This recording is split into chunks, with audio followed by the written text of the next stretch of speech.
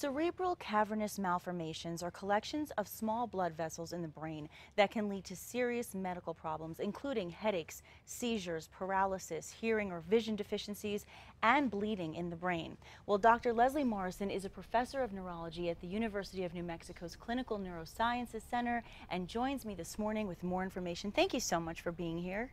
Thank you, Nikki. It's a pleasure to be here. Well, this is an important topic, and I'm glad we're covering it. Let's first start by talking more about what cavernous malformations actually are.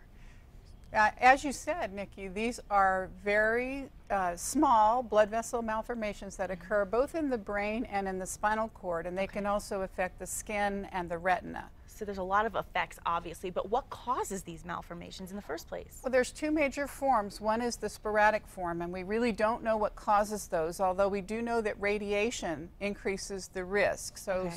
nervous system radiation.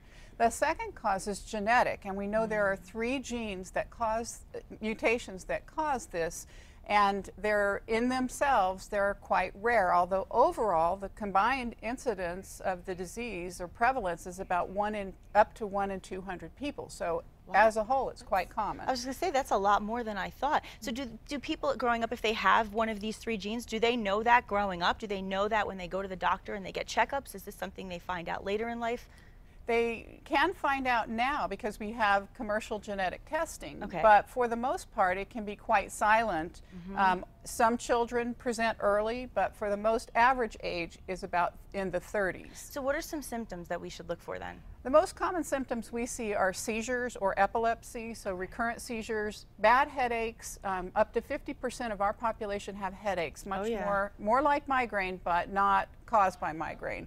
And the other um, is an acute stroke-like event where you essentially um, lose function, neurological, essential neurological function. Okay, so obviously it can be very overwhelming and scare people. So we want to know solutions. How is the disease treated? Well, up until now, we really don't have good treatments other than treating the symptoms. So okay. we can treat the seizures, we can treat the headaches.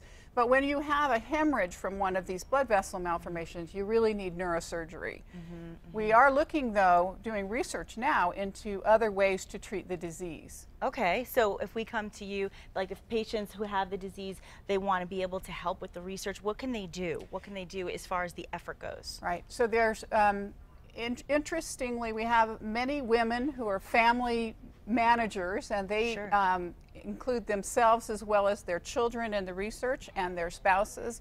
Okay. They can call us at 272 3194 okay. and reach our research team to participate in a new treatment trial. Perfect. And of course, all the details are on your screen right now. Take out a pen and paper, write it down. It is so important that we take care of our health first and foremost, and we appreciate the valuable information you provide us with. Thank, Thank you. you so much.